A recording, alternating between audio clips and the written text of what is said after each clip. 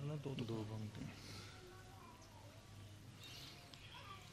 ਗੋਬਿੰਦ ਗੋਬਿੰਦ ਗੋਬਿੰਦ ਸੰਗ। ਨਾਮ ਦਿਓ ਮਨ ਲੀਨਾ।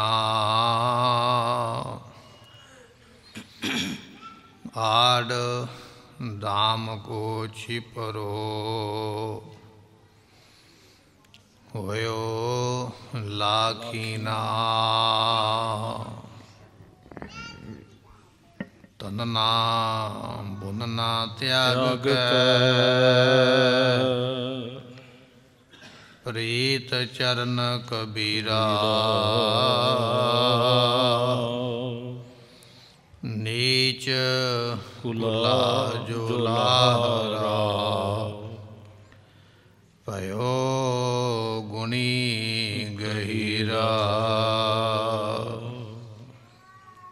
ਰਵਿਦਾਸ ਟਵੰਤਾ ਟੋਰ ਨੀਤ ਤਿਨ ਤਿਆਗੀ ਮਾਇਆ। ਪ੍ਰਗਟ ਹੁਆ ਸਾਧ ਸੰਗ। ਹਰ ਦਰਸ਼ਨ ਪਾਇਆ। ਸੈਨ ਨਾਈ ਬੁੱਤ ਕਾਰਿਆ। ਉਹ ਘਰ ਘਰ ਸੁਣਿਆ। ਹਿਰਦੈ ਵਸਿਆ ਪਾਰ ਬ੍ਰਹਮ। ਭਗਤਾ ਮੈਂ ਗਣਿਆ। ਇਹ ਬਿਦ ਸੁਨ ਕੇ ਜਟ ਰੋ। ਉਠ ਭਗਤੀ ਲਾਗਾ। ਮਿਲੈ ਪ੍ਰਤਖ ਗੁਸਾਈ ਗੁਸਾਈਆਂ।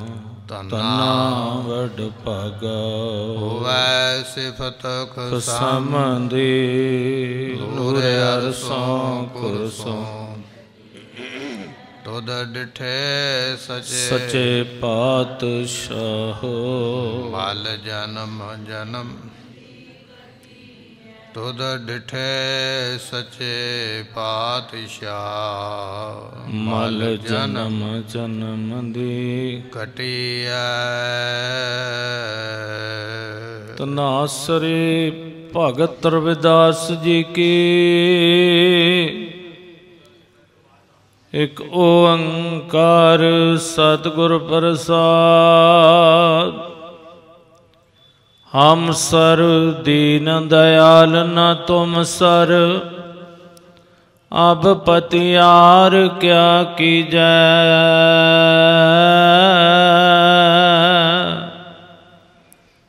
ਬਚਨੀ ਤੋਰ ਮੋਰ ਮਨ ਮਨ, ਜਨ ਕੋ ਪੂਰਨ ਦੀਜੈ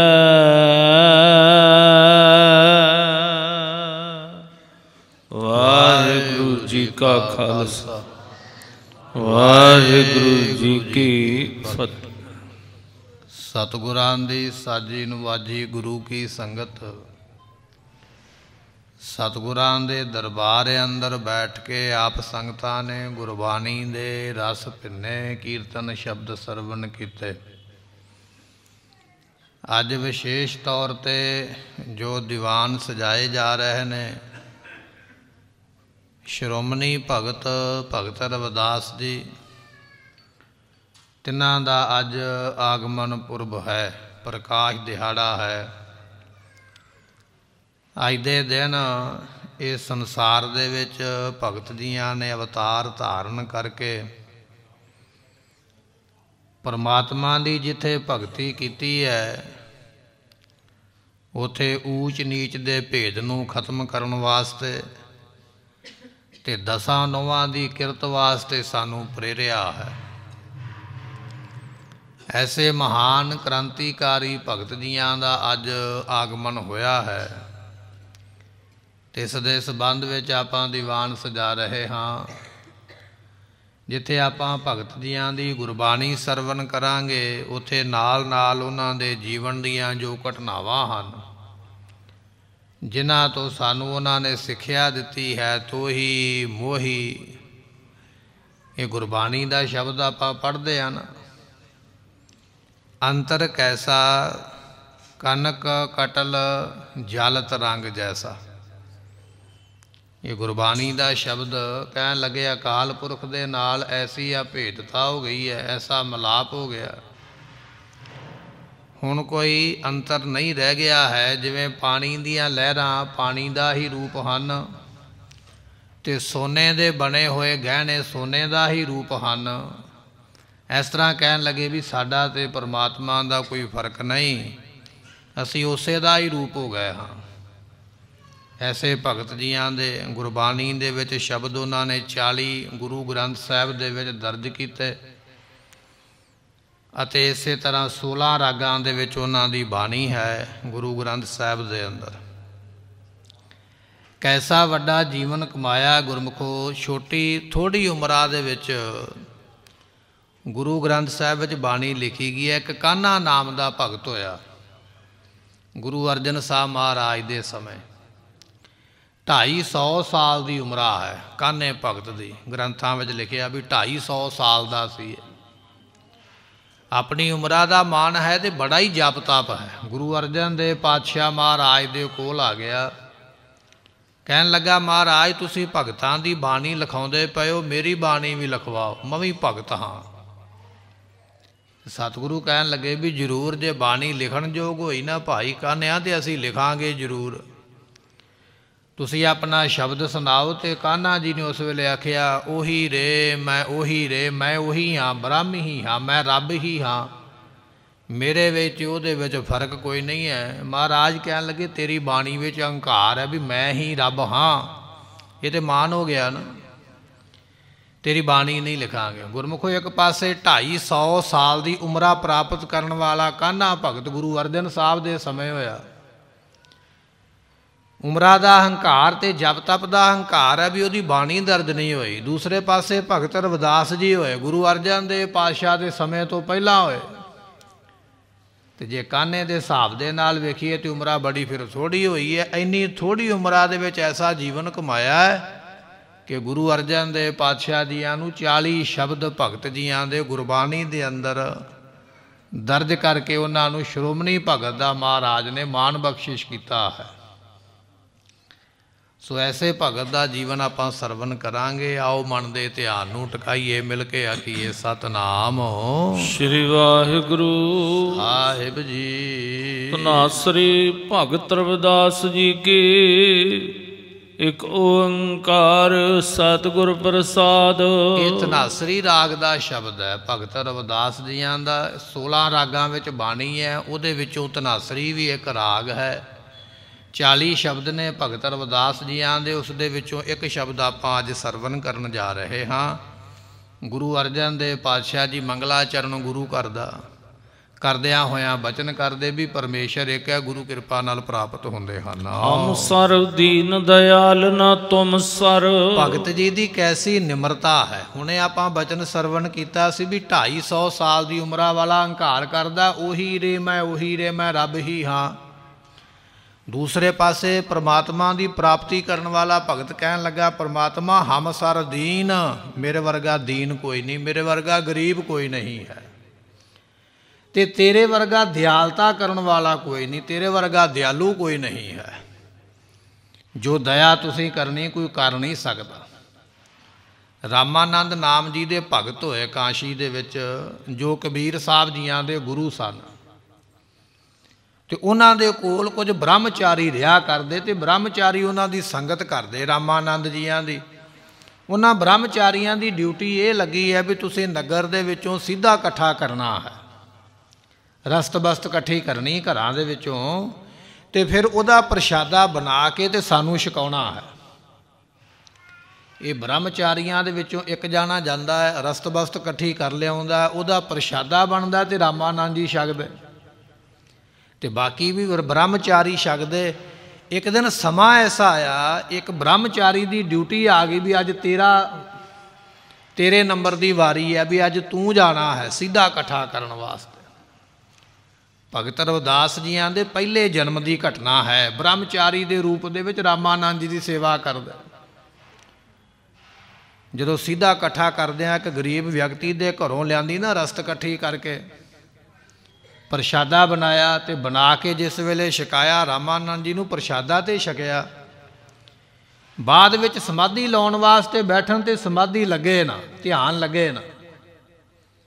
ਮਨ ਵਿੱਚ ਸੋਚਿਆ ਕੀ ਕਾਰਨ ਹੈ? ਅੱਗੇ ਤੇ ਧਿਆਨ ਜੁੜਦਾ, ਅੱਜ ਕਿਉਂ ਨਹੀਂ ਧਿਆਨ ਜੁੜਦਾ ਪਿਆ?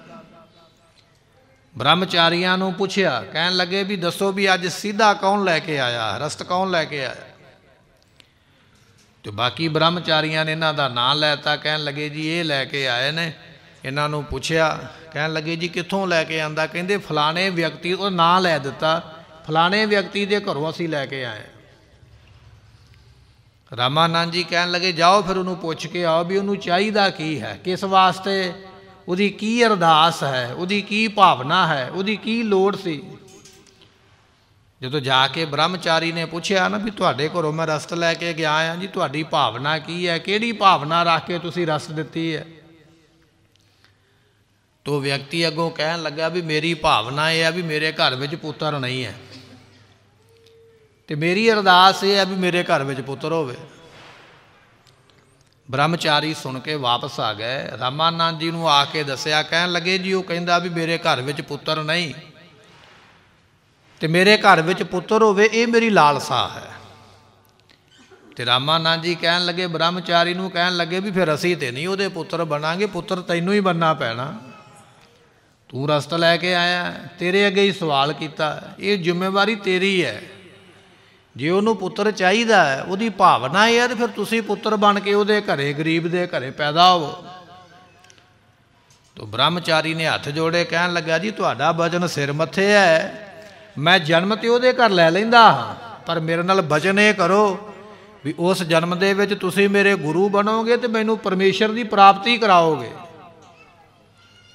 ਰਾਮਾਨੰਦ ਜੀ ਹੱਸ ਪਏ ਕਹਿਣ ਲੱਗੇ ਵੀ ਇਹ ਪ੍ਰਸ਼ਾਦਾ ਵੀ ਛਕਾਇਆ, ਸੇਵਾ ਵੀ ਕੀਤੀ ਹੈ। ਉਲਟਾ ਸਾਨੂੰ ਵੀ ਆਪਣੇ ਨਾਲ ਹੀ ਲਾ ਲਿਆ ਵੀ ਜ਼ਿੰਮੇਵਾਰੀ ਚੁੱਕੋ ਵੀ ਜਨਮ ਤੇ ਮੈਂ ਲੈਂਦਾ, ਪ੍ਰਾਪਤੀ ਤੁਸੀਂ ਕਰਾਓਗੇ। ਉਹਨਾਂ ਨੇ ਖੁਸ਼ ਹੋ ਕੇ ਬਚਨ ਆਖਿਆ, ਕਹਿਣ ਲੱਗੇ, ਠੀਕ ਹੈ, ਤੁਸੀਂ ਆਪਣਾ ਬਚਨ ਪੂਰਾ ਕਰੋ ਅਸੀਂ ਆਪਣਾ ਬਚਨ ਪੂਰਾ ਕਰਾਂਗੇ। ਤੇ ਫਿਰ ਉਹ ਬ੍ਰਹਮਚਾਰੀ ਨੇ ਆਪਣਾ ਸਰੀਰ ਛੱਡਿਆ ਤੇ ਉਸ ਗਰੀਬ ਵਿਅਕਤੀ ਦੇ ਘਰੇ, ਜਿਸ ਨੂੰ ਸੰਸਾਰ ਦੇ ਲੋਕ ਰਾਮੂ ਜੀ ਦੇ ਨਾਮ ਦੇ ਨਾਲ ਜਾਣਦੇ, ਜਿਸ ਬੀਬੀ ਨੂੰ ਧੁਰ ਬਿਨੀਆਂ ਦੇ ਨਾਮ ਦੇ ਨਾਲ ਦੁਨੀਆ ਦੇ ਲੋਕ ਜਾਣਦੇ, ਉਸ ਘਰ ਦੇ ਵਿੱਚ ਜਾ ਕੇ ਉਸ ਬ੍ਰਹਮਚਾਰੀ ਨੇ ਆਪਣੇ ਗੁਰੂ ਦਾ ਬਚਨ ਮੰਨਦਿਆਂ ਹੋਇਆ ਭਗਤ ਰਵਿਦਾਸ ਜੀਆਂ ਦੇ ਰੂਪ ਦੇ ਵਿੱਚ ਅਵਤਾਰ ਲੈ ਲਿਆ। ਚਲੋ ਜੀ, ਤੁਹਾਡਾ ਬਚਨ ਪੂਰਾ ਕਰ ਦਿੰਦੇ ਆ। ਪਰ ਹੁਣ ਅਸੀਂ ਤੇ ਆਪਣਾ ਪੂਰਾ ਕੀਤਾ। ਹੁਣ ਤੁਹਾਨੂੰ ਵੀ ਕਰਨਾ ਪਵੇਗਾ। ਸੁਰਤੀ ਜੁੜੀ ਹੋਈ ਹੈ ਨਾ। ਧਿਆਨ ਤੇ ਜੁੜਿਆ ਹੋਇਆ ਨਾ। ਪਿਛਲੇ ਜਨਮ ਦੀ ਵੀ ਭਗਤੀ ਹੈ। ਜਿਹੜਾ ਹੁਣ ਜਨਮ ਮਿਲਣਾ, ਉਹਦੀ ਵੀ ਭਗਤੀ ਹੈ। ਥੋੜਾ ਜਿਹਾ ਉਮਰਾਂ ਵਿੱਚ ਵੱਡੇ ਹੋਏ ਤੇ ਫਿਰ ਗੁਰੂ ਰਾਮਾਨੰਦ ਦੀ ਸ਼ਰਨ ਵਿੱਚ ਆਏ। ਉਪਦੇਸ਼ ਪ੍ਰਾਪਤ ਕੀਤਾ। ਐਸੀ ਕਮਾਈ ਕੀਤੀ। ਆਪਾਂ ਬਚਨ ਪੜ੍ਹਦੇ ਆ ਸਗਲ ਭਵਨ ਕੇ ਨਾਇਕਾ ਇੱਕ ਛਿਨ ਦਰਸ ਦਿਖਾਏ ਦਰਸ ਦਿਖਾਏ ਇਹ ਬਚਨ ਉਹਨਾਂ ਨੇ ਆਖੇ ਐਸੀ ਭਾਵਨਾ ਰੱਖੀ ਜਦੋਂ ਇਹ ਬਚਨ ਆਖਿਆ ਅਕਾਲ ਪੁਰਖ ਜੀ ਦੇ ਪ੍ਰਤੱਖ ਦਿਦਾਰੇ ਪ੍ਰਾਪਤ ਹੋ ਗਏ ਦਰਸ਼ਨ ਪ੍ਰਾਪਤ ਹੋ ਗਿਆ ਐਸੇ ਨੇ ਭਗਤ ਜੀ ਉਹਦਾ ਦਰਸ਼ਨ ਕਰਨ ਵਾਲੇ ਨਿਮਰਤਾ ਕੈਸੀ ਹੈ ਕਹਿਣ ਲੱਗੇ ਹਮ ਸਰ ਦੀਨ ਮੇਰੇ ਵਰਗਾ ਦੀਨ ਦੀਨ ਵਾਲਾ ਕੋਈ ਨਹੀਂ ਦੀਨ ਉਹਨੂੰ ਕਿਹਾ ਜਾਂਦਾ ਹੈ ਜਿਹਦੇ ਮਨ ਵਿੱਚ ਪ੍ਰੇਮ ਹੋਵੇ, ਜਿਹਦੇ ਮਨ ਦੇ ਵਿੱਚ ਭੈ ਹੋਵੇ। ਭੈ ਕਾਦਾ ਹੈ? ਪਰਮੇਸ਼ਰ ਦਾ। ਪ੍ਰੇਮ ਕਾਦਾ ਹੈ? ਉਹਦੇ ਮਲਾਪ ਦਾ। ਉਹਨੂੰ ਕਿਹਾ ਜਾਂਦਾ ਦੀਨ। ਮਹਾਰਾਜ, ਮੈਂ ਦੀਨ ਆ ਮੈਨੂੰ ਤੁਹਾਡਾ ਭੈ ਹੈ। ਸਦ ਸੁਣਦਾ, ਸਦ ਵੇਖਦਾ, ਕਿਉਂ ਮੁਕਰ ਪਿਆ ਜਾਏ, ਇਹ ਮੇਰੇ ਮਨ ਵਿੱਚ ਭੈ ਹੈ। ਕਿ ਤੁਸੀਂ ਮੈਨੂੰ ਵੇਖਦੇ ਪਏ ਹੋ। ਮੇਰੇ ਗੁਨਾਹਾਂ ਨੂੰ ਵੇਖਦੇ ਪਏ। ਇਹ ਭੈ ਹੈ ਮੇਰੇ ਮਨ ਵਿੱਚ। ਤੇ ਪ੍ਰੇਮ ਇਹ ਹੈ ਕਿ ਮੈਨੂੰ ਤੁਹਾਡਾ ਮਲਾਪ ਹੋਵੇ, ਇਹ ਪ੍ਰੇਮ ਹੈ ਤਾਂ ਮੈਂ ਆਪਣੇ ਆਪ ਨੂੰ ਦੀਨ ਸਮਝਦਾ ਹਾਂ, ਮੈਂ ਦੀਨ ਹਾਂ ਤੁਹਾਡੇ ਦਰ ਤੇ ਅਰਦਾਸ ਕਰਨ ਵਾਲਾ। ਤੇ ਬਚਨ ਕਰਦੇ, ਹਮ ਸਰ ਦੀਨ, ਮੇਰੇ ਵਰਗਾ ਦੀਨਤਾਈ ਵਾਲਾ ਕੋਈ ਨਹੀਂ, ਦਿਆਲ ਨਾ ਤੁਮ ਸਰ, ਤੁਹਾਡੇ ਵਰਗਾ ਦਿਆਲੂ ਕੋਈ ਨਹੀਂ, ਕਿਰਪਾ ਕਰਨ ਵਾਲਾ ਕੋਈ ਨਹੀਂ ਹੈ। ਹਮ ਸਰ ਦੀਨ, ਦਿਆਲ ਨਾ ਤੁਮ ਸਰ ਅਬ ਪਤਿਆਰ ਕਿਆ ਕੀਜੈ? ਇਹਦੇ ਤੇ ਉੱਪਰ ਹੁਣ ਕਿਹੜਾ ਪਤਿਆਵਾ ਦਈਏ, ਕਿਹੜਾ ਭਰੋਸਾ ਦਈਏ, ਕਿਹੜੀ ਗਰੰਟੀ ਦੇ ਦਈਏ? ਕਿਹੜਾ ਬਚਨ ਕਹੀਏ ਵੀ ਜੋ ਯਕੀਨ ਆ ਜਾਵੇ, ਇਹਦੇ ਤੋਂ ਅੱਗੇ ਕਹਿੰਦੇ ਹੋਰ ਬਚਨ ਅਸੀਂ ਕਹਿ ਹੀ ਨਹੀਂ ਸਕਦੇ। ਸਿਰਫ ਇੰਨਾ ਹੀ ਬਚਨ ਹੈ ਵੀ ਮੇਰੇ ਵਰਗਾ ਦੀਨ ਕੋਈ ਨਹੀਂ ਤੇ ਤੁਹਾਡੇ ਵਰਗਾ ਦਿਆਲੂ ਕੋਈ ਨਹੀਂ। ਇਹਦੇ ਤੋਂ ਅੱਗੇ ਅਸੀਂ ਤੁਹਾਡੀ ਕੀ ਉਪਮਾ ਕਹਿਣਾ ਕਰੀਏ? ਬਚਨੀ ਤੋਰ ਮੋਰ ਮਨ ਮਨ। ਆਪ ਜੀ ਦੇ ਬਚਨਾਂ ਦੇ ਉੱਪਰ ਮੇਰਾ ਮਨ ਮੰਨ ਗਿਆ ਹੈ। ਐਸਾ ਮੰਨਿਆ ਹੈ ਜਿਵੇਂ ਕਮਲ ਦੇ ਫੁੱਲ ਨੂੰ ਭੌਰਾ ਨਹੀਂ ਛੱਡ ਸਕਦਾ।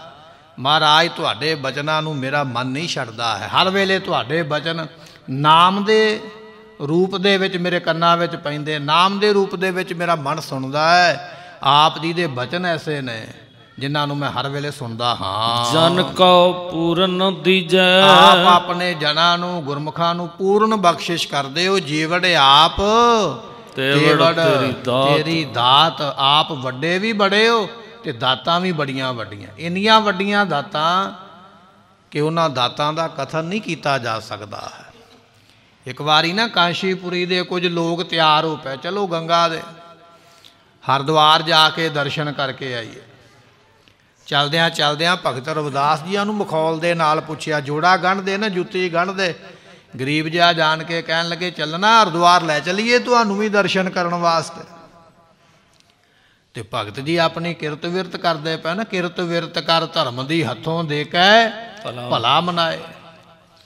ਕਹਿਣ ਲੱਗੇ ਭਾਈ ਅਸੀਂ ਤੇ ਨਹੀਂ ਜਾਣਾ ਹੈ ਪਰ ਸਾਡੇ ਕੋਲੋਂ ਆ ਇੱਕ ਟਕਾ ਲੈ ਜਾਓ ਇੱਕ ਦਮੜਾ ਲੈ ਜਾਓ ਇਹ ਸਾਡੇ ਵੱਲੋਂ ਭੇਟ ਕਰ ਦਿਓ ਜਾ ਕੇ ਗੰਗਾ ਜੀ ਨੂੰ। ਤੇ ਜਦੋਂ ਦਮੜਾ ਦਿੱਤਾ ਨੂੰ ਲੈ ਕੇ ਚੱਲਣ ਲੱਗੇ ਸ਼ਾਹੂਕਾਰ ਅਮੀਰ ਜਾਦੇ ਤੇ ਫਿਰ ਆਵਾਜ਼ ਦਿੱਤੀ ਭਗਤ ਜੀਆਂ ਨੂੰ, ਉਹਨਾਂ ਦੇ ਮਨ ਦਾ ਹੰਕਾਰ ਜਾਣ ਕੇ ਵੀ ਅਸੀਂ ਤੇ ਇੰਨੀ ਇੰਨੀ ਮਾਇਆ ਜਾ ਕੇ ਚੜਾਉਣੀ ਆ, ਇੰਨੇ ਇੰਨੇ ਪ੍ਰਸ਼ਾਦ ਜਿਹੜਾ ਜਾ ਕੇ ਚੜਾਉਣੇ ਇਹਨਾਂ ਨੇ ਇੱਕ ਪੈਸਾ ਤੋਛੀ ਭੇਟਾ ਦਿੱਤੀ ਹੈ। ਮਨ ਵਿੱਚ ਮਾਨ ਆ ਗਿਆ ਨਾ, ਕਹਿਣ ਲੱਗੇ, ਭਾਈ, ਗੱਲ ਸੁਣੋ, ਮੇਰੀ ਭੇਟਾ ਉਦੋਂ ਦਿਓ ਜਦੋਂ ਗੰਗਾ ਮੰਗੇਗੀ, ਦਿਓ ਨਹੀਂ ਤੇ ਨਾ ਦਿਓ। ਹੋਰ ਮਨ ਵਿੱਚ ਮਾਣ ਆਇਆ, ਕਹਿਣ ਲੱਗੇ, ਵੇਖੋ ਕਿੰਨਾ ਮਾਣ ਹੈ, ਗੰਢ ਦਾ ਜੁੱਤੀਆਂ ਪਿਆ ਹੈ ਤੇ ਗੰਗਾ ਨੂੰ ਸ਼ਰਤ ਲਾਈ ਬੈਠਾ ਵੀ ਜੇ ਭੇਟਾ ਮੰਗੇਗੀ ਤੇ ਤਾਂ ਹੀ ਦੇਣੀ ਹੈ। ਚਲੇ ਗਏ, ਜਾ ਕੇ ਇਸ਼ਨਾਨ ਕੀਤਾ, ਦਾਨ ਪੁੰਨ ਕੀਤਾ ਚੜਾਵੇ ਚੜਾਏ ਸਾਰਾ ਕੁਝ ਹੀ ਕੀਤਾ। ਜਦੋਂ ਚੱਲਣ ਲੱਗੇ ਤੇ ਉਹ ਬਚਨ ਚੇਤੇ ਆ ਗਿਆ, ਕਹਿਣ ਲੱਗੇ, ਭਗਤ ਜੀ ਨੇ ਕਿਹਾ ਸੀ ਵੀ ਮੇਰੀ ਭੇਟਾ ਵੀ ਦਿਓ ਗੰਗਾ ਨੂੰ, ਪਰ ਦੇ ਦਿਓ ਉਸ ਵੇਲੇ, ਜਿਸ ਵੇਲੇ ਮੰਗੇ ਜਦੋਂ ਬਚਨ ਚੇਤੇ ਆਇਆ ਤੇ ਕਹਿਣ ਲੱਗੇ, ਗੰਗਾ ਦੇ ਵਿੱਚੋਂ ਆਵਾਜ਼ ਆਈ। ਉਸ ਵੇਲੇ ਉਸ ਨੇ ਆਖਿਆ ਵੀ ਮੇਰੇ ਭਗਤ ਨੇ ਕੁਝ ਨਹੀਂ ਦਿੱਤਾ, ਮੇਰੀ ਭੇਟਾ ਵਾਸਤੇ, ਮੇਰੇ ਵਾਸਤੇ ਕੁਝ ਨਹੀਂ ਭੇਜਿਆ। ਆਪਣਾ ਹੱਥ ਬਾਹਰ ਕੱਢਿਆ ਤੇ ਇਸ਼ਨਾਨ ਕਰਦਿਆਂ ਹੈਰਾਨ ਹੋ ਗਿਆ, ਵੇਖ ਕੇ ਕਹਿਣ ਲੱਗੇ ਵੀ ਇਹ ਕੈਸੀ ਗੱਲ ਹੈ? ਉਸੇ ਵੇਲੇ ਟਕਾ ਦਿੱਤਾ ਵੀ ਇਹ ਤੁਹਾਡੀ ਭੇਟਾ ਭਗਤ ਜੀ ਦੇ ਵੱਲੋਂ ਆਈ ਹੈ। ਭੇਟਾ ਲੈ ਕੇ ਕਹਿਣ ਲੱਗੇ, ਗੰਗਾ ਨੇ ਉਸ ਵੇਲੇ ਕੰਗਣ ਦਿੱਤਾ ਸੋਨੇ ਦਾ। ਮੇਰੇ ਭਗਤ ਨੂੰ ਮੇਰੇ ਵੱਲੋਂ ਕੰਗਣ ਦੇ ਦਿਓ। ਜਿਹਦੇ ਉੱਪਰ ਹੀਰੇ ਲੱਗੇ ਹੋਏ, ਸੋਨਾ ਲੱਗਿਆ ਹੋਇਆ। ਇਹ ਭਗਤ ਨੂੰ ਮੇਰੇ ਵੱਲੋਂ ਭੇਟਾ ਦੇ ਦੇ। ਲੈ ਕੇ ਤੁਰ ਪਏ। ਹੁਣ ਮਨ ਵਿੱਚ ਸਵਾਲ ਇਹ ਹੈ ਵੀ ਭਗਤ ਤੇ ਗਰੀਬ ਹੈ। ਉਹਨੂੰ ਜੇ ਦੇ ਦੇ ਵੀ ਦੇਵਾਂਗੇ, ਉਹਨੇ ਸਾਨੂੰ ਕੀ ਦੇ ਦੇਣਾ ਹੈ? ਕਿਉਂ ਨਾ ਹੋਵੇ, ਭੇਟਾ ਆਪਾਂ ਰਾਜੇ ਨੂੰ ਜਾ ਕੇ ਦਈਏ। ਰਾਜਾ ਤੇ ਖੁਸ਼ ਹੋਵੇਗਾ ਕੱਲ ਨੂੰ ਕੋਈ ਮੁਸੀਬਤ ਪਵੇਗੀ। ਰਾਜੇ ਕੋਲੋਂ ਕੰਮ ਕਢਾਵਾਂਗੇ। ਰਾਜਾ ਵੀ ਸਾਡਾ ਮਾਣ ਸਨਮਾਨ ਕਰੇਗਾ ਵੀ ਇਹਨਾਂ ਨੇ ਮੈਨੂੰ ਸੋਨੇ ਦਾ ਕੰਗਣ ਦਿੱਤਾ, ਹੀਰਿਆਂ ਦਾ ਜੜਿਆ ਹੋਇਆ। ਰਾਜੇ ਨੂੰ ਜਾ ਕੇ ਦਿੱਤਾ, ਕਹਿਣ ਲੱਗੇ, ਲਓ ਰਾਜਨ, ਤੁਹਾਡੇ ਵਾਸਤੇ ਭੇਟਾ ਆਈ ਹੈ। ਤੇ ਰਾਜੇ ਨੇ ਉਹ ਭੇਟਾ ਲੈ ਕੇ ਆਪਣੀ ਰਾਣੀ ਨੂੰ ਜਦੋਂ ਉਹ ਭੇਟਾ ਦਿੱਤੀ ਨਾ, ਤੋਹਫਾ ਦਿੱਤਾ, ਤੇ ਰਾਣੀ ਨੇ ਅੱਗੋਂ ਆਖਿਆ ਵੀ ਇਹਦੇ ਨਾਲ ਦਾ ਘੋਰ ਚਾਹੀਦਾ। ਜੋੜੀ ਚਾਹੀਦੀ ਹੈ ਵੀ ਇੱਕ ਦੇ ਨਾਲ ਨਹੀਂ, ਇਹਦੇ ਨਾਲ ਦਾ ਕੰਗਣ ਇੱਕ ਹੋਰ ਹੋਵੇ ਤੇ ਤਾਂ ਜੋੜੀ ਬਣੇ। ਹੁਣ ਜਿਹੜੇ ਗਏ ਸਨ ਆਪਣੇ ਨੰਬਰ ਬਣਾਉਣ ਵਾਸਤੇ ਵੀ ਵੇਖੋ, ਅਸੀਂ ਤੁਹਾਡੇ ਵਾਸਤੇ ਲੈ ਕੇ ਆਏ ਆ ਰਾਜੇ ਨੇ ਆਪਣੇ ਸਿਪਾਹੀ ਭੇਜੇ, ਕਹਿੰਦੇ, ਜਾਓ ਬੁਲਾ ਕੇ ਲਿਆਓ। ਬੁਲਾ ਕੇ ਲਿਆਂਦਾ। ਰਾਜਾ ਕਹਿੰਦਾ, ਜਿਹੋ ਜਿਹਾ ਕੰਗਣ ਭੇਟ ਕਰਕੇ ਗਏ ਉਹਨਾਂ ਇਹੋ ਜਿਹਾ ਘੋਰ ਦੇ ਕੇ ਜਾਓ। ਹੁਣ ਕਿੱਥੋਂ ਦੇ ਕੇ ਜਾ ਕਿਹੜਾ ਕਿਸੇ ਕੋਲੋਂ ਬਣਵਾਇਆ ਹੈ? ਫਿਰ ਰਾਜੇ ਨੇ ਦੂਜਾ ਬਚਨ ਕੀਤਾ, ਮਾਇਆ ਵੀ ਮੈਂ ਖਰਚ ਦਿਆਂਗਾ, ਧਨ ਵੀ ਮੇਰੇ ਕੋਲੋਂ ਲੈ ਜਾਓ, ਪਰ ਉਸੇ ਕਾਰੀਗਰ ਤੋਂ ਬਣਾ ਕੇ ਲਿਆਓ ਜਿਨੇ ਇਹ ਬਣਾ ਕੇ ਦਿੱਤਾ ਹੈ। ਪਰ ਕਿਵੇਂ ਮਿਲੇ? ਫਿਰ ਭਗਤ ਜੀਆਂ ਦੇ ਕੋਲ ਆਏ, ਚਰਨਾਂ ਤੇ ਮੱਥਾ ਟੇਕਿਆ। ਆਪਣੀ ਗਲਤੀ ਮੰਨੀ, ਕਹਿਣ ਲੱਗੇ ਵੀ ਅਸੀਂ ਇਸ ਤਰ੍ਹਾਂ ਤੁਹਾਡੀ ਭੇਟਾ ਦਿੱਤੀ ਹੈ। ਤੁਹਾਨੂੰ ਉਥੋਂ ਕੰਗਣ ਭੇਟ ਹੋਇਆ। ਅਸੀਂ ਤੁਹਾਨੂੰ ਨਹੀਂ ਦਿੱਤਾ। ਖੁਸ਼ਾਮਦ ਕਰਨ ਵਾਸਤੇ ਰਾਜੇ ਨੂੰ ਦੇ ਦਿੱਤਾ ਹੈ। ਹੁਣ ਰਾਜੇ ਦਾ ਸਵਾਲ ਇਹ ਹੈ ਵੀ ਇਹਦੇ ਨਾਲ ਦਾ ਘੋਰ ਲੈ ਕੇ ਆਓ। ਨਹੀਂ ਤੇ ਤੁਹਾਨੂੰ ਸਾਰਿਆਂ ਨੂੰ ਕਤਲ ਕਰ ਦਿਆਂਗਾ। ਹੁਣ ਸਾਡੇ ਵਿੱਚ ਭਗਤ ਜੀ ਇੰਨੀ ਸਮਰੱਥਾ ਨਹੀਂ। ਹੁਣ ਸਾਨੂੰ ਇਸ ਮੁਸੀਬਤ ਵਿੱਚੋਂ ਤੁਸੀਂ ਕੱਢ ਸਕਦੇ ਹੋ। ਸਾਡੇ ਤੇ ਕਿਰਪਾ ਕਰੋ। ਤੇ ਜਦੋਂ ਬਚਨ ਸੁਣਿਆ ਨਾ ਭਗਤ ਰਵਿਦਾਸ ਜੀਆਂ ਨੇ ਸੁਣ ਕੇ ਕਹਿਣ ਲੱਗੇ, ਕੋਈ ਗੱਲ ਨਹੀਂ, ਤੁਸੀਂ ਘਬਰਾਓ ਨਾ। ਜਿਸ ਭਾਂਡੇ ਦੇ ਵਿੱਚ ਅਸੀਂ ਚਮੜਾ ਭਿਓਇਆ ਨਾ, ਜੁੱਤੇ ਗੱਡਣ ਵਾਸਤੇ ਵੀ ਚਮੜਾ ਥੋੜਾ ਨਰਮ ਹੋ ਜਾਵੇ, ਜਿਸ ਤਸਲੇ ਦੇ ਵਿੱਚ ਅਸੀਂ ਉਹ ਪਾਣੀ ਪਾ ਕੇ ਰੱਖਿਆ ਹੋਇਆ ਨਾ, ਚਮੜਾ ਭਗੋਇਆ ਹੋਇਆ, ਜਾਓ ਜਾ ਕੇ ਉਸ ਦੇ ਵਿੱਚ ਵੇਖੋ, ਜਿਹੋ ਜਿਹਾ ਕੰਗਣ ਚਾਹੀਦਾ, ਕੱਢ ਕੇ ਜਾ ਕੇ ਰਾਜੇ ਨੂੰ ਦੇ ਦਿਓ। ਤੇ ਜਦੋਂ ਗੁਰਮੁਖੋ ਪਾਣੀ ਵਾਲੇ ਭਾਂਡੇ ਕੋਲ ਗਏ ਨਾ, ਜਿਹਦੇ ਵਿੱਚ ਉਹ ਪਾਣੀ ਪਾ ਕੇ ਤੇ ਚਮੜਾ ਪਾ ਕੇ ਰੱਖਿਆ ਕੀ ਵੇਖਦੇ ਪਏ? ਜਿਹੜਾ ਗੰਗਾ ਵਿੱਚੋਂ ਇੱਕ ਕੰਗਣ ਮਿਲਿਆ ਉਹ ਸਾਰਾ ਭਾਂਡਾ ਹੀ ਕੰਗਣਾ ਦਾ ਭਰਿਆ ਹੋਇਆ। ਸਤਿ ਸ਼੍ਰੀ ਅਕਾਲ। ਉਹਦੇ ਵਿੱਚੋਂ ਕੰਗਣ ਲੈ ਕੇ ਰਾਜੇ ਨੂੰ ਦੇ ਕੇ ਆਪਣੀ ਜਾਨ ਛੜਾਈ ਹੈ। ਐਸੀ ਸਮਰੱਥਾ ਹੈ ਐਸੀ ਪਹੁੰਚ ਹੈ ਐਸੀ ਉਹਨਾਂ ਦੀ ਭੇਟ ਹੈ ਐਸਾ ਉਹਨਾਂ ਦਾ ਸਤਕਾਰ ਹੈ।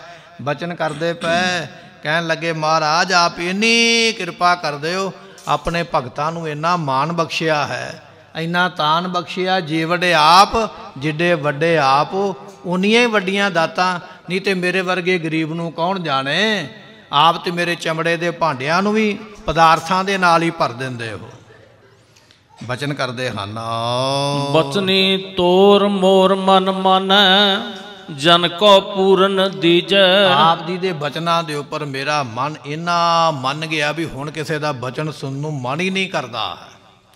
ਤੇ ਆਪਣੇ ਗੁਰਮੁਖਾਂ ਨੂੰ ਆਪ ਪੂਰਨ ਦਾਨ ਜਿਹੜਾ ਹੈ ਬਖਸ਼ਿਸ਼ ਦਾ ਦਿੰਦੇ ਹੋ। ਆਓ ਬਲ ਬਲ ਜਾਓ ਰਮਈਆ ਕਰਨੇ। ਐ ਰਮਈਆ ਰਮੇ ਹੋਏ ਪ੍ਰਮਾਤਮਾ ਮੈਂ ਤੇਰੇ ਤੋਂ ਬਲਿਹਾਰ ਜਾਵਾਂ ਕੁਰਬਾਨ ਜਾਵਾਂ ਸਦਕੇ ਜਾਵਾਂ। ਜਿਨੇ ਐਸੇ ਗਰੀਬ ਨੂੰ ਐਸਾ ਮਾਨ ਬਖਸ਼ਿਸ਼ ਕੀਤਾ ਹੈ। ਗਰੀਬ ਨਵਾਜ ਗੁਸਈਆ ਮੇਰਾ ਮਾਥੈ ਛਤਰ ਧਰੈ। ਐਸਾ ਆਪ ਜੀ ਵਡਿਆਈ ਬਖਸ਼ਿਸ਼ ਕਰਦੇ ਹੋ। ਕਾਰਨ ਕਵਨ ਅਬੋਲ ਮਹਾਰਾਜ ਕਿਹੜੇ ਕਾਰਨ ਨੇ?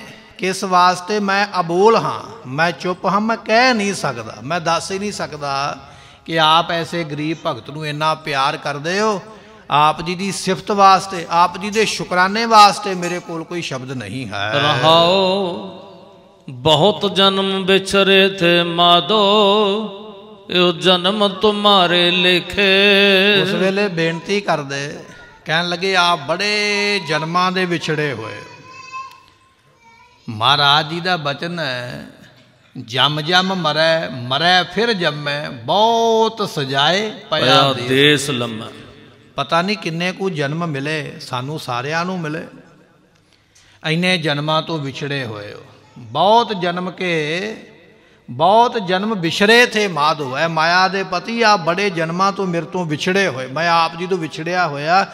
ਪਰ ਇਹ ਜਿਹੜਾ ਮਨੁੱਖਾ ਜਨਮ ਹੁਣ ਮਿਲਿਆ ਨਾ ਰਾਮਾਨੰਦ ਜੀਆਂ ਦੀ ਸੰਗਤ ਕਰਕੇ ਇਹ ਜਨਮ ਤੁਹਾਰੇ ਲੇਖੇ, ਇਹ ਮੈਂ ਜਨਮ ਤੁਹਾਡੇ ਲੇਖੇ ਲਾ ਦਿੱਤਾ ਹੈ। ਤੁਹਾਡੇ ਸਿਮਰਨ ਵਿੱਚ ਹੀ ਲਾ ਦਿੱਤਾ ਤੁਹਾਡੀ ਬੰਦਗੀ ਵਿੱਚ ਲਾ ਦਿੱਤਾ ਹੈ। ਕਹਿ ਰਵਿਦਾਸ ਆਸ ਲਗ ਜੀਵੋ ਚਿਰ ਭਇਓ ਦਰਸ਼ਨ ਦੇਖੇ। ਰਵਿਦਾਸ ਜੀ ਕਹਿਣ ਲੱਗੇ ਚਿਰ ਭਇਓ ਲੰਮਾ ਸਮਾਂ ਹੋ ਗਿਆ। ਦਰਸ਼ਨ ਪਹਿਲਾਂ ਵੀ ਹੋਏ ਨੇ ਪਰ ਹੋਏ ਨੂੰ ਟਾਈਮ ਹੋ ਗਿਆ ਹੁਣ ਚਿਰ ਹੋ ਗਿਆ ਮੈਂ ਚਾਹੁੰਦਾ ਹਾਂ ਵੀ ਇੱਕ ਵਾਰੀ ਆਪ ਜੀ ਦਾ ਦਿਦਾਰਾ ਫਿਰ ਪ੍ਰਾਪਤ ਹੋਵੇ ਫਿਰ ਆਪ ਜੀ ਦਾ ਦਰਸ਼ਨ ਹੋਵੇ। ਚਿਰ ਭਇਓ ਦਰਸ਼ਨ ਦੇਖੇ ਨਾਲ ਹੀ ਬਚਨ ਕਰਦੇ, ਆਸ ਲੱਗ ਜੀਵੋ। ਮੈਨੂੰ ਆਸਾ ਹੈ ਆ, ਫਿਰ ਵੀ ਦਰਸ਼ਨ ਬਖਸ਼ਿਸ਼ ਕਰੋਗੇ। ਜਦੋਂ ਇਹ ਬਚਨ ਕੀਤਾ, ਅਕਾਲ ਪੁਰਖ ਜੀ ਉਸ ਵੇਲੇ ਪ੍ਰਤਾਖੀ ਦਰਸ਼ਨ ਦਿੰਦੇ ਪਏ। ਭਗਤ ਰਵਿਦਾਸ ਜੀ ਦਰਸ਼ਨ ਕਰਦੇ ਪਏ, ਅਕਾਲ ਪੁਰਖ ਦੇ। ਦਰਸ਼ਨ ਦੇ ਕੇ ਆਖਿਆ, ਕਹਿਣ ਲੱਗੇ, ਰਵਿਦਾਸ ਜੀ, ਮੰਗੋ ਕੀ ਚਾਹੀਦਾ? ਹੈ ਕਿਹੜੀ ਵਸਤੂ ਚਾਹੀਦੀ ਹੈ? ਜੋ ਮੰਗੋਗੇ ਉਹ ਦੇ ਦੇਾਂਗੇ ਜਿਵੇਂ ਆਪਾਂ ਇਤਿਹਾਸ ਵਿੱਚ ਬਚਨ ਸਰਵਣ ਕਰਦੇ ਪਏ ਸੀ ਨਾ ਮਾਂ ਸਿੰਘ ਨੂੰ ਗੁਰੂ ਗੋਬਿੰਦ ਸਿੰਘ ਪਾਤਸ਼ਾਹ ਨੇ ਆਖਿਆ, ਮੰਗੋ ਕੀ ਚਾਹੀਦਾ? ਹੈ ਉਹਨਾਂ ਨੇ ਆਪਣੇ ਵਾਸਤੇ ਨਹੀਂ ਕਹਿਣ ਲੱਗੇ ਮਹਾਰਾਜ ਬਦਾਵਾ ਪਾੜ ਦਿਓ ਬਸ ਹੋਰ ਕੁਝ ਨਹੀਂ ਚਾਹੀਦਾ। ਭਗਤ ਰਵਿਦਾਸ ਜੀਆਂ ਨੂੰ ਪ੍ਰਾਪਤੀ ਹੋਈ ਅਕਾਲ ਪੁਰਖ ਜੀ ਕਹਿਣ ਲੱਗੇ ਮੰਗੋ ਕੀ ਚਾਹੀਦਾ ਭਗਤ ਜੀ ਜੋ ਮੰਗੋਗੇ ਦੇਵਾਂਗੇ। ਹੱਥ ਜੋੜੇ ਕਹਿਣ ਲੱਗੇ ਚਾਹੀਦਾ ਤੇ ਹੈ। ਕੀ ਚਾਹੀਦਾ? ਫਿਰ ਉਹ ਦੱਸਦੇ ਪਏ ਹਨ। ਚਿਤ ਸਿਮਰਨ ਕਰੋ ਨੈਣ ਅਵਲੋਕਨ। ਕਹਿਣ ਲੱਗੇ ਚਾਹੀਦਾ ਇਹ ਹੈ ਮੇਰਾ ਚਿੱਤ ਤੁਹਾਡੇ ਸਿਮਰਨ ਵਿੱਚ ਹਰ ਵੇਲੇ ਲੱਗਾ ਰਵੇ ਕਦੇ ਮੇਰਾ ਮਨ ਉਪਰਾਮ ਹੋਵੇ ਹੀ ਨਾ। ਗੁਰਮੁਖੋ ਆਪਾਂ ਤੇ ਕਦੇ ਕਦੇ ਬਾਣੀ ਪੜ੍ਹਦੇ ਆ ਨਾ, ਕਦੇ ਕਦੇ ਪਾਠ ਕਰਦੇ ਆ। ਤੇ ਕਦੇ ਕਦੇ ਕਰਨ ਦੇ ਬਾਵਜੂਦ ਸਾਡਾ ਮਨ ਵੀ ਨਹੀਂ ਲੱਗਦਾ। ਭਗਤ ਜੀ ਹਰ ਵੇਲੇ ਉਹਦਾ ਚਿੰਤਨ ਕਰਦੇ, ਪਰ ਕਹਿਣ ਲੱਗੇ, ਮੇਰਾ ਮਨ ਹਰ ਵੇਲੇ ਤੁਹਾਡੇ ਸਿਮਰਨ ਵਿੱਚ ਜੁੜਿਆ ਹੀ ਰਵੇ। ਚਿੱਤ ਸਿਮਰਨ ਕਰੋ, ਮਨ ਕਰਕੇ ਮੈਂ ਤੁਹਾਡੇ ਨਾਮ ਨੂੰ ਜਪਾਂ। ਇਹ ਮੈਨੂੰ ਚਾਹੀਦਾ, ਮੈਨੂੰ ਇਹ ਦਾਤ ਦਿਓ। ਚਿੱਤ ਸਿਮਰਨ ਕਰੋ ਨੈਣ ਅਵਲੋਕਨੋ, ਮੇਰੇ ਨੇਤਰ ਤੁਹਾਨੂੰ ਹਰ ਵੇਲੇ ਵੇਖਦੇ ਰਹਿਣ। ਮੈਨੂੰ ਹਰ ਵੇਲੇ ਤੁਹਾਡਾ ਦਰਸ਼ਨ ਹੋਵੇ। ਹਰ ਵੇਲੇ ਤੁਹਾਡੀ ਪ੍ਰਾਪਤੀ ਦੇ ਦਰਸ਼ਨਾਂ ਦੀ ਪ੍ਰਾਪਤੀ ਹੋਵੇ। ਸ਼ਰਵਣ ਬਾਣੀ ਕੰਨਾਂ ਵਿੱਚ ਤੁਹਾਡਾ ਹੀ ਬਚਨ ਪਵੇ। ਤੁਹਾਡੇ ਬਿਨਾ ਕਿਸੇ ਦਾ ਬਚਨ ਕੰਨਾਂ ਵਿੱਚ ਪਵੇ ਹੀ ਨਾ। ਜੇ ਕੋਈ ਸਾਡੇ ਵਰਗਾ ਹੋਵੇ ਨਾ, ਕੋਈ ਰਾਜ ਮੰਗੇ, ਕੋਈ ਪਰਲੋਕ ਮੰਗ ਲਵੇ, ਕੋਈ ਲੰਮੀ ਉਮਰਾ ਮੰਗ ਲਵੇ, ਕੋਈ ਪਦਾਰਥ ਮੰਗ ਲਵੇ ਜੇ ਭਗਤ ਜੀ ਨੇ ਮੰਗਿਆ ਇਹੋ ਹੀ ਮੰਗਿਆ ਕਹਿਣ ਲੱਗੇ ਇੱਕ ਤੁਹਾਡੀ ਯਾਦ ਨਾ ਮਨ ਵਿੱਚੋਂ ਭੁੱਲੇ ਇੱਕ ਮੈਂ ਤੁਹਾਡੇ ਦਰਸ਼ਨ ਕਰਾਂ ਤੇ ਦੂਜਾ ਇਹ ਆ ਵੀ ਮੇਰੇ ਕੰਨਾਂ ਵਿੱਚ ਤੁਹਾਡੀ ਸਿਫਤ ਦਾ ਹੀ ਬਚਨ ਪਵੇ। ਇਹਦੇ ਬਿਨਾ ਕੋਈ ਬਚਨ ਪਵੇ ਹੀ ਨਾ।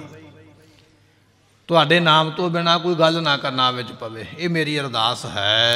ਸ਼ਰਵਨ ਬਾਣੀ ਸੁਜਸ ਪੂਰ ਰੱਖੋ। ਆਪ ਜੀ ਦਾ ਸ੍ਰੇਸ਼ਟ ਜਸ ਜਿਹੜਾ ਸਾਰਿਆਂ ਥਾਵਾਂ ਤੇ ਹੈ ਉਹ ਜਸ ਮੈਨੂੰ ਪ੍ਰਾਪਤ ਹੋਵੇ ਉਹ ਮਾਨ ਮੈਨੂੰ ਮਿਲੇ ਆਪ ਕਿਰਪਾ ਕਰੋ। ਮਨ ਸੋ ਮਦ ਕਰ ਕਰੋ। ਮੈਂ ਆਪਣੇ ਮਨ ਨੂੰ ਭੌਰਾ ਬਣਾ ਲਵਾਂ। ਭੌਰਾ ਜਿਹੜਾ ਨਾ ਕਮਲ ਦੇ ਫੁੱਲ ਤੇ ਬੈਠਾ ਗੁੰਜਾਰ ਪਾਉਂਦਾ ਸੁਗੰਧੀ ਲੈਂਦਾ ਮੁਕਰੰਦ ਰਸ ਦੇ ਧੂੜੇ ਦੀ ਮੇਰਾ ਮਨ ਭੌਰਾ ਬਣ ਜਾਵੇ। ਆਪ ਜੀ ਦੀ ਭਗਤੀ ਦਾ ਰਸ ਪ੍ਰਾਪਤ ਕਰਾਂ। ਮੈਂ ਹਰ ਵੇਲੇ ਆਪ ਜੀ ਦੀ ਭਗਤੀ ਦੇ ਆਨੰਦ ਨੂੰ ਲੈਣਾ ਕਰਾਂ। ਇਹ ਮੇਰੇ ਤੇ ਕਿਰਪਾ ਕਰੋ। ਚਰਨ ਹਿਰਦੇ ਧਰੋ। ਆਪ ਜੀ ਦੇ ਚਰਨ ਮੇਰੇ ਹਿਰਦੇ ਵਿੱਚ ਵਸ ਜਾਣ। ਸਦਾ ਵਾਸਤੇ ਮੇਰੇ ਹਿਰਦੇ ਵਿੱਚ ਤੁਹਾਡੇ ਚਰਨ ਹੀ ਸਮਾ ਜਾਣ। ਤੁਹਾਡੇ ਚਰਨਾਂ ਦੇ ਪ੍ਰਾਪਤੀ ਤੋਂ ਬਿਨਾ ਹੋਰ ਕੋਈ ਦੁਨੀਆ ਦੀ ਦਾਤ ਨਹੀਂ ਚਾਹੀਦੀ ਹੈ। ਰਸਨ ਅੰਮ੍ਰਿਤ RAM ਨਾਮ ਭਾਖੋ। ਮੇਰੀ ਜ਼ੁਬਾਨ ਤੁਹਾਡੇ ਨਾਮ ਨੂੰ ਜਪੇ। ਅੰਤਰ ਗੁਰਿਆ ਰਦਨਾ ਜਿਹਵਾ ਜਪ ਗੁਰ ਨਾਉ ਨੇਤਰੀ ਸਤਿਗੁਰ ਪੇਖਣਾ ਸਰਵਣੀ ਸੁਨਣਾ ਇੱਕ ਸ਼ਾਹੂਕਾਰ ਜੀ ਆ ਗਏ ਨਾ ਰਵਿਦਾਸ ਦੀ ਜੁੱਤੀਆਂ ਗੰਢਦੇ ਪਏ। ਤੇ ਸ਼ਾਹੂਕਾਰ ਕੌਣ ਨੇ? ਭਗਵਾਨ ਦੀ। ਸੋਚਿਆ ਵੀ ਇਹ ਮੇਰਾ ਭਗਤ ਬੜਾ ਗਰੀਬ ਹੈ। ਇਸ ਨੂੰ ਕੁਝ ਐਸਾ ਪਦਾਰਥ ਦੇ ਦਈਏ ਅਮੀਰ ਹੋ ਜਾਵੇ। ਰਵਿਦਾਸ ਢਵੰਤਾ ਢੋਰ ਨੀਤ ਮਰੇ ਹੋਏ ਪਸ਼ੂਆਂ ਨੂੰ ਲੈ ਕੇ ਆਉਣਾ। ਉਹਨਾਂ ਦਾ ਚਮੜਾ ਲੈ ਕੇ ਜੁੱਤੀਆਂ ਗੰਢਣੀਆਂ। ਕੋਈ ਪਦਾਰਥ ਦਈਏ, ਕਿਸੇ ਤਰ੍ਹਾਂ ਦੀ ਕੋਈ ਘਾਟ ਨਾ ਰਹਿ ਜਾਵੇ ਤੇ ਸ਼ਾਹੂਕਾਰ ਬਣ ਕੇ ਆ ਗਿਆ। ਕਹਿਣ ਲੱਗੇ, ਅਸੀਂ ਲੰਮੇ ਸਫ਼ਰ ਤੇ ਚੱਲੇ ਆ। ਰਸਤੇ ਵਿੱਚ ਚੋਰ ਡਾਕੂ ਵੀ ਹੋ ਸਕਦੇ ਨੇ। ਸਾਡੇ ਕੋਲ ਇੱਕ ਪਾਰਸ ਦੀ ਵੱਟੀ ਹੈ, ਪੱਥਰ ਹੈ ਇੱਕ ਪਾਰਸ ਦਾ। ਅਸੀਂ ਚਾਹੁੰਦੇ ਆ ਵੀ ਤੁਸੀਂ ਆਪਣੇ ਕੋਲ ਰੱਖ ਲਵੋ। ਜਦੋਂ ਅਸੀਂ ਵਾਪਸ ਮੁੜਾਂਗੇ, ਤੁਹਾਡੇ ਕੋਲੋਂ ਲੈ ਚੱਲਾਂਗੇ। ਹੁਣ ਗੁਰਮੁਖੋ, ਪਾਰਸ ਦਾ ਕੰਮ ਇਹ ਹੈ ਵੀ ਲੋਹੇ ਨੂੰ ਸੋਨਾ ਬਣਾ ਦੇਣਾ। ਬੜਾ ਕੀਮਤੀ ਪੱਥਰ ਹੈ ਪਾਰਸ। ਸ਼ਾਹੂਕਾਰ ਨੇ ਦੱਸ ਦਿੱਤਾ ਵੀ ਇਹ ਪਾਰਸ ਦਾ ਪੱਥਰ ਹੈ, ਮੈਂ ਤੁਹਾਨੂੰ ਦੇ ਕੇ ਚੱਲਿਆ, ਵਾਪਸ ਮੁੜਾਂਗਾ ਤੇ ਲੈ ਲਵਾਂਗਾ। ਭਗਤ ਜੀ ਆਪਣੇ ਕੰਨ ਕੰਮ ਵਿੱਚ ਲੱਗੇ ਹੋਏ ਤੇ ਕਹਿਣ ਲੱਗੇ ਵੀ ਇਹ ਮੇਰੀ ਕੁਟਿਆ ਹੈ, ਇਹ ਛੰਨ ਹੈ, ਇਹ ਝੌਂਪੜੀ ਹੈ, ਇਹਦੇ ਵਿੱਚ ਕਿਸੇ ਕੋਨੇ ਤੇ ਰੱਖ ਦਿਓ ਭਾਈ, ਤੇ ਉਹ ਜਾ ਕੇ ਸ਼ਾਹੂਕਾਰ ਨੇ ਆਪ ਹੀ ਕਿਸੇ ਨੁੱਕਰ ਤੇ ਨਾ ਕੱਪੜੇ 'ਚ ਲਪੇਟ ਕੇ ਟਾਕੀ 'ਚ ਤੋਂ ਪੱਥਰ ਰੱਖ ਦਿੱਤਾ। ਭਗਤ ਜੀ ਆਪਣੇ ਕੰਮ ਵਿੱਚ ਲੱਗੇ ਰਹੇ ਕਿਰਤ ਵਿਰਤ ਵਿੱਚ ਲੱਗੇ ਰਹੇ। ਕੁਝ ਮਹੀਨਿਆਂ ਬਾਅਦ ਉਹ ਸ਼ਾਹੂਕਾਰ ਆਇਆ। ਮਨ ਵਿੱਚ ਸੋਚਦਾ ਵੀ ਭਗਤ ਜੀ ਨੇ ਤੇ ਬੜਾ ਸੋਨਾ ਇਕੱਠਾ ਕਰ ਲਿਆ। ਮਹਿਲ ਬਣ ਗਏ ਹੋਣਗੇ। ਨੌਕਰ ਚਾਕਰ ਸੇਵਾਦਾਰ ਹੋਣਗੇ। ਬੜੀ ਠਾਠ ਵਾਲੀ ਜ਼ਿੰਦਗੀ ਹੈ। ਜਦੋਂ ਵਾਪਸ ਆ ਕੇ ਵੇਖਿਆ ਕਿ ਉਹੀ ਛੰਨ ਹੈ, ਉਹੀ ਭਗਤ ਜੀ ਜੁੱਤੀਆਂ ਗੰਢਦੇ ਪਏ ਉਸੇ ਕੰਮ ਵਿੱਚ ਹੀ ਲੱਗੇ ਹੋਏ।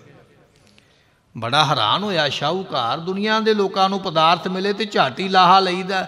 ਇਧਰੋਂ ਕਿਸੇ ਕੋਲੋਂ ਪੈਸੇ ਚਾਰ ਮਿਲ ਜਾਣ ਤੇ ਝਾਟੀ ਬੰਦਾ ਕਹਿੰਦਾ ਵੀ ਇਹਨੂੰ ਵਿਆਜ ਤੇ ਦੇ ਕੇ ਪਹਿਲਾਂ ਵਿਆਜ ਖਾ ਲਈਏ, ਮੂਲ ਫਿਰ ਮੋੜ ਦੇਾਂਗੇ ਸਾਨੂੰ ਮਿਲੇ ਸਹੀ ਕੋਈ ਵਸਤੂ। ਅਸੀਂ ਉਹਦੇ ਵਿੱਚੋਂ ਵੀ ਲਾਭ ਲੱਭੀਦਾ ਵੀ ਲੱਭ ਜਾਵੇ ਛੇਤੀ ਨਾਲ ਵੀ ਕਿੰਨਾ ਕੋ ਲਾਭ ਲਈਏ। ਹੁਣ ਭਗਤ ਜੀਆਂ ਨੂੰ ਦੇ ਕੇ ਗਿਆ। ਇਹੋ ਜੀ ਵਸਤੂ ਹੈ ਵੀ ਲੋਹੇ ਨੂੰ ਸੋਨਾ ਕਰੇ। ਪਰ ਵਰਤਿਆ ਨਹੀਂ। ਜਦੋਂ ਉਹ ਸ਼ਾਹੂਕਾਰ ਵਾਪਸ ਆਇਆ, ਕਹਿਣ ਲੱਗੇ, ਜੀ, ਤੁਹਾਨੂੰ ਉਹ ਕੀਮਤੀ ਪੱਥਰ ਦਿੱਤਾ ਸੀ ਪਾਰਸ ਦਾ। ਤੇ ਜੁੱਤੀ ਗੰਢਦੇ ਆਖਿਆ, ਕਹਿਣ ਲੱਗੇ ਵੀ ਜਿੱਥੇ ਰੱਖ ਕੇ ਗਏ ਹੋ ਨਾ, ਉੱਥੇ ਹੀ ਹੋਵੇਗਾ, ਜਾ ਕੇ ਵੇਖੋ। ਤੇ ਸ਼ਾਹੂਕਾਰ ਜਦੋਂ ਛਣ ਦੇ ਅੰਦਰ ਗਿਆ, ਜਿੱਥੇ ਆਪ ਰੱਖ ਕੇ ਗਿਆ ਸੀ ਨਾ ਕਿਸੇ ਕੋਨੇ ਤੇ ਕੱਪੜੇ 'ਚ ਲਪੇਟ ਕੇ, ਜਿੱਥੇ ਰੱਖਿਆ, ਉੱਥੇ ਦਾ ਉੱਥੇ ਪਿਆ, ਵੇਖਿਆ ਤੱਕ ਨਹੀਂ ਉਹਨੂੰ ਖੋਲ ਕੇ ਵੀ ਪਾਰਸ ਹੁੰਦਾ ਕਿਹੋ ਜਿਹਾ ਹੈ।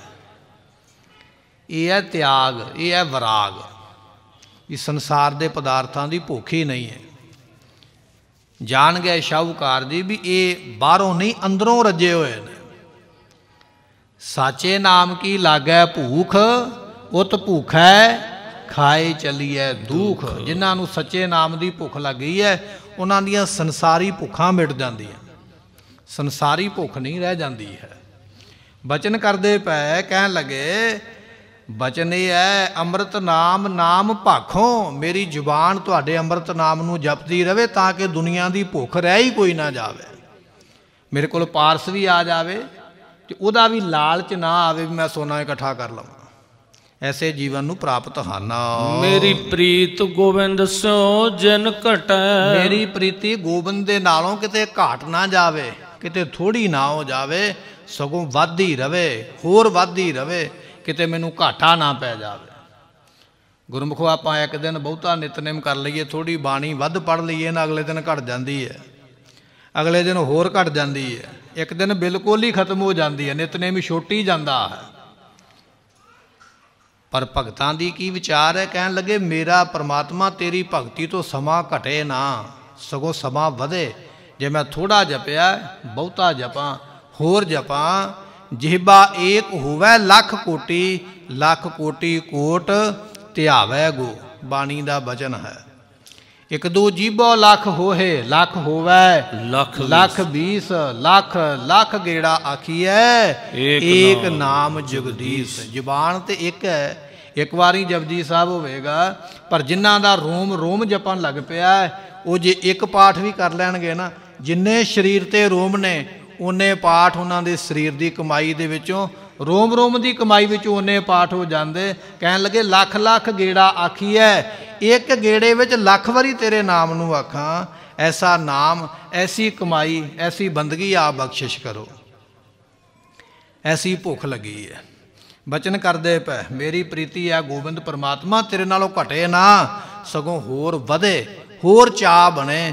ਮੈਂ ਤੇਰੇ ਨਾਮ ਨੂੰ ਕਹਿਣਾ ਕਰਾਂ। ਮੈਂ ਤੋ ਮੋਲ ਮਹਿੰਗੀ ਲਈ ਜੀ ਸਟੈ ਇਹ ਤੇ ਮੈਂ ਮਹਿੰਗੇ ਮੁੱਲ ਲਈ ਹੈ। ਮਹਿੰਗਾ ਮੁੱਲ ਕੀ ਹੈ? ਆਪਣਾ ਜੀ ਦੇ ਕੇ ਆਪਣਾ ਮਨ ਦੇ ਕੇ ਕੰਚਨ ਸਿਉ ਪਾਈਐ ਨਹੀਂ ਤੋਲ ਮਨ ਦੇ RAM ਲਿਆ ਹੈ ਮੁੱਲ ਦੁਨੀਆ ਦੇ ਪਦਾਰਥ ਤੁਹਾਨੂੰ ਮਾਇਆ ਖਰਚ ਕੇ ਮਿਲ ਜਾਣਗੇ ਪਰ ਪ੍ਰੇਮ ਨਹੀਂ ਜੇ ਪੈਸਾ ਖਰਚ ਕੇ ਮਿਲਦਾ।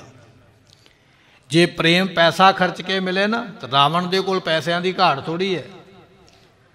ਸੋਨੇ ਦੀ ਲੰਕਾ ਦਾ ਮਾਲਕ ਹੈ। ਜਿੰਨੇ ਮਰਜ਼ੀ ਸੋਨਾ, ਚਾਂਦੀ, ਹੀਰੇ ਦੇ ਦਿੰਦਾ, ਪ੍ਰੇਮ ਖਰੀਦ ਕੇ ਲੈ ਆਉਂਦਾ। ਮਹਾਰਾਜ ਨੇ ਆਖਿਆ ਥੰਮਣ ਜਿਉ ਇਸ ਪ੍ਰੇਮ ਕੀ? ਦਮ ਕਿਉਂ ਹੁਤੀ ਸਾਟ? ਰਾਵਣ ਹੁਤੇ ਸੁਰੰਕ ਨੇ, ਜਿਨ ਸਿਰ ਦੀਨੇ ਕਾਟ। ਰਾਵਣ ਨੂੰ ਕੀ ਲੋੜ ਸੀ ਆਪਣਾ ਸਿਰ ਵੱਢ ਕੇ ਆਪਣੇ ਇਸ਼ਟ ਦੇਵ ਨੂੰ ਭੇਟ ਕਰਨ ਦੀ? ਉਹ ਆਖਦਾ ਵੀ ਇੰਨਾ ਸੋਨਾ ਲੈ ਜਾਓ, ਚਾਂਦੀ ਲੈ ਜਾਓ ਤੇ ਬਸ ਸਾਰਾ ਕੁਝ ਲੈ ਜਾਓ, ਮੇਰਾ ਤੇ ਪ੍ਰੇਮ ਬਣ ਗਿਆ ਹੈ। ਨਹੀਂ, ਸੋਨਾ, ਚਾਂਦੀ ਦਿੱਤਿਆਂ ਪ੍ਰੇਮ ਨਹੀਂ ਜੇ ਖਰੀਦਿਆ ਜਾਂਦਾ। ਤੇ ਭਗਤਾਂ ਨੇ ਆਖਿਆ ਕੰਚਨ ਸਿਉ ਪਾਈਐ ਨਹੀਂ ਤੋਲ ਮਨ ਦੇ ਰਾਮ ਮਨ ਦੇਣਾ ਪੈਂਦਾ ਪ੍ਰੇਮ ਤਾਂ ਮਿਲਦਾ ਸੋਨੇ ਚਾਂਦੀ ਰੁਪਈਆਂ ਨਾਲ ਨਹੀਂ ਮਿਲਦਾ ਹੈ। ਰੱਬ ਦਾ ਪਿਆਰ ਸੰਸਾਰ ਦੇ ਪਦਾਰਥਾਂ ਨਾਲ ਨਹੀਂ ਮਿਲਦਾ ਹੈ। ਤੇ ਮਹਾਰਾਜ ਨੇ ਆਖਿਆ ਜਿਨ ਪ੍ਰੇਮ ਕੀਓ ਤੇ ਤੇ ਨਹੀਂ ਨਹੀਂ ਪ੍ਰਭ ਪਾਇਓ ਰੱਬ ਮਿਲਣਾ ਹੀ ਉਹਨੂੰ ਜਿਹਨੇ ਪ੍ਰੇਮ ਕੀਤਾ। ਤੇ ਪਾਤਸ਼ਾਹ ਇਥੇ ਬਚਨ ਕਰਦੇ ਪਏ ਕਹਿਣ ਲੱਗੇ ਮੈਂ ਤੋ ਮੋਲ ਮਹਿੰਗੀ ਲਈ ਜੀ ਸਟੈ, ਆਪਣਾ ਜੀ ਦੇ ਕੇ, ਮਨ ਦੇ ਕੇ, ਮਨ ਦੇ ਵਟੇ ਪਰਮਾਤਮਾ ਤੇਰਾ ਨਾਮ ਲਿਆ ਹੈ। ਆਪਣਾ ਮਨ ਦੇ ਕੇ ਤੇਰੇ ਪ੍ਰੇਮ ਨੂੰ ਖਰੀਦਿਆ ਹੈ, ਐਵੇਂ ਨਹੀਂ ਖਰੀਦਿਆ ਹੈ, ਐਸੇ ਮਹਿੰਗੇ ਮੁੱਲ ਤੇਰੀ ਪ੍ਰੀਤੀ ਨੂੰ ਪ੍ਰਾਪਤ ਕੀਤਾ ਹੈ। ਰਹਾਉ ਸਾਧ ਸੰਗਤ ਬਿਨਾ ਭਉ ਨਹੀਂ ਉਪਜੈ। ਭਾਵ ਬਿਨ ਭਗਤ ਨਹੀਂ ਹੋਏ ਤੇਰੀ। ਮਹਾਰਾਜ ਕਹਿੰਦੇ, ਸਾਧ ਸੰਗਤ ਤੋਂ ਬਿਨਾ ਪਰਮਾਤਮਾ ਦਾ ਡਰ ਵੀ ਪੈਦਾ ਨਹੀਂ ਹੁੰਦਾ। ਇੱਥੇ ਪਤਾ ਲੱਗਦਾ ਵੀ ਪਰਮਾਤਮਾ ਵੇਖਦਾ ਹੈ। ਮੇਰੇ ਗੁਨਾਹਾਂ ਦੀ ਸਜ਼ਾ ਦੇਵੇਗਾ ਸਾਧ ਸੰਗਤ ਤੋਂ ਬਿਨਾ ਉਹਦਾ ਡਰ ਵੀ ਨਹੀਂ। ਤੇ ਪਾਤਸ਼ਾਹ ਕਹਿਣ ਲੱਗੇ, ਡਰ ਤੋਂ ਬਿਨਾ ਫਿਰ ਪ੍ਰੇਮ ਵੀ ਨਹੀਂ ਹੈ।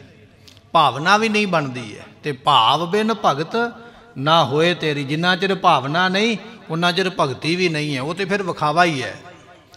ਵਿਖਾਵੇ ਮਾਤਰ ਜਿੰਨਾ ਮਰਜ਼ੀ ਮੂੰਹ ਲਾ ਲਈਏ ਹੱਥ ਲਾ ਲਈਏ ਮਾਲਾ ਫੇਰ ਲਈਏ ਵਿਖਾਵਾ ਹੀ ਹੈ। ਜਿੰਨਾ ਚਿਰ ਅੰਦਰੋਂ ਭਾਵਨਾ ਨਹੀਂ ਉਹਨਾਂ ਚਿਰ ਕਹਿੰਦੇ ਭਗਤੀ ਨਹੀਂ ਹੁੰਦੀ ਹੈ। ਕਹਿ ਰਵਿਦਾਸ ਇੱਕ ਬੇਨਤੀ ਹਰ ਸਿਓ ਭਗਤ ਰਵਿਦਾਸ ਜੀ ਕਹਿਣ ਲੱਗੇ ਅਕਾਲ ਪੁਰਖ ਇੱਕੋ ਹੀ ਬੇਨਤੀ ਹੈ ਤਰਲਾ ਹੈ ਤੁਹਾਡੇ ਚਰਨਾਂ ਵਿੱਚ ਇੱਕ ਜੋਦੜੀ ਅਸੀਂ ਕਹਿੰਦੇ ਹਾਂ। ਐਜ ਰੱਖੋ ਰਾਜਾ ਰਾਮ ਮੇਰੀ। ਇਹ ਦੁਨੀਆ ਦੇ ਰਾਜੇ ਸਾਰੀ ਸ੍ਰਿਸ਼ਟੀ ਨੂੰ ਬਣਾਉਣ ਵਾਲੇ ਅਕਾਲ ਪੁਰਖ ਮੇਰੀ ਇੱਜ਼ਤ ਰੱਖ ਲੋ ਦੁਨੀਆ ਨੇ ਇਹ ਕਹਿਣਾ ਵੀ ਰੱਬ ਦਾ ਭਗਤ ਹੈ। ਪਰ ਇਹ ਨਾ ਹੋਵੇ ਕਿ ਮੇਰੇ ਜੀਵਨ ਤੇ ਕੋਈ ਢਲਿਆਈ ਰਹਿ ਜਾਵੇ। ਆਪਣੇ ਨਾਮ ਦੀ ਪੈਜ ਰੱਖੋ ਵੀ ਤੁਹਾਡਾ ਭਗਤ ਹਾਂ ਤੇ ਮੇਰੀ ਬਾਹ ਫੜ ਕੇ ਮੈਨੂੰ ਸੰਸਾਰ ਤੋਂ ਬਾਹਰ ਕਰ ਦਿਓ। ਬਚਨ ਆਪਾਂ ਪੜ੍ਹਦੇ ਆ ਇਹ ਭਗਤ ਰਵਿਦਾਸ ਜੀਆਂ ਦੇ ਬਚਨ ਹਨ। 40 ਸ਼ਬਦ ਗੁਰੂ ਗ੍ਰੰਥ ਸਾਹਿਬ ਦੇ ਵਿੱਚ 16 ਰਾਗਾਂ ਵਿੱਚ ਬਖਸ਼ਿਸ਼ ਕੀਤੇ। ਕਾਂਸ਼ੀ ਦੀ ਧਰਤੀ ਤੇ ਆਪ ਨੇ ਅਵਤਾਰ ਧਾਰਨ ਕੀਤਾ ਹੈ। ਤੇ ਗੁਰਮੁਖੋ ਉਹਨਾਂ ਸਮਿਆਂ ਵਿੱਚ ਆਵਾਜ਼ ਬੁਲੰਦ ਕੀਤੀ ਹੈ। ਜਦੋਂ ਕਿਸੇ, ਜਿਵੇਂ ਮੰਨੂ ਸਿਮਰਤੀ ਕਹਿੰਦੀ ਹੈ ਨਾ ਵੀ ਆ ਜਾਤ ਨੀਵੀਂ ਹੈ ਆ ਜਾਤ ਉੱਚੀ ਹੈ, ਗੁਰਮਤ ਵਿੱਚ ਜਾਤ ਪਾਤ ਦਾ ਕੋਈ ਵਿੰਡ ਵੰਡ ਵਰਤਕਾਰ ਨਹੀਂ ਹੈ। ਪਰ ਮੰਨੂ ਸਿਮਰਤੀ ਕਹਿੰਦੀ ਹੈ ਜਾਤ ਪਾਤ ਦੀ ਵਰਨ ਵੰਡ ਕਰਦੀ ਹੈ।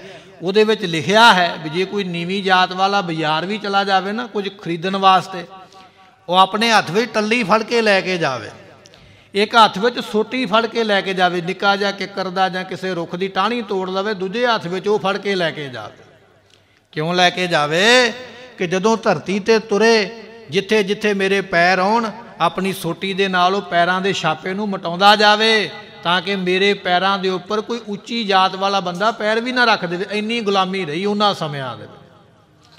ਕਿ ਉੱਚੀ ਜਾਤ ਜਿਹਦੀ ਹੈ, ਬ੍ਰਾਹਮਣ ਹੋ ਗਿਆ ਜਾਂ ਕੋਈ ਖਤਰੀ ਹੋ ਗਿਆ ਵੀ ਐਸੀ ਜਾਤ ਵਾਲੇ ਜਿਹੜੇ ਲੋਕ ਨੇ ਵੀ ਇੱਥੋਂ ਸ਼ੂਦਰ ਲੰਘ ਗਿਆ ਹੈ, ਉਹਦੇ ਪੈਰਾਂ ਤੇ ਸਾਡਾ ਪੈਰ ਨਾ ਕਿਤੇ ਰੱਖਿਆ ਜਾਵੇ, ਸਾਡਾ ਕਿਤੇ ਇਹ ਸਰੀਰ ਭ੍ਰਿਸ਼ਟੀ ਨਾ ਹੋ ਜਾਵੇ, ਇੱਕ ਹੱਥ ਵਿੱਚ ਨਿੱਕੀ ਜੀ ਸੋਟੀ ਲੈ ਕੇ ਜਾਓ, ਆਪਣੀ ਨਿਸ਼ਾਨੀ ਮੇਟਦੇ ਜਾਓ।